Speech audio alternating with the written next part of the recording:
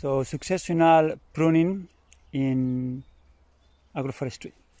So we do have uh, citrus, mandarin that we want to promote, and we have an auxiliary sacrifice tree, the Mirabola, and then another one, hybrid, uh, 307 hybrid prunus, for just covering the, the needs of building soil, uh, scattering shelter, and giving some shade in the summer.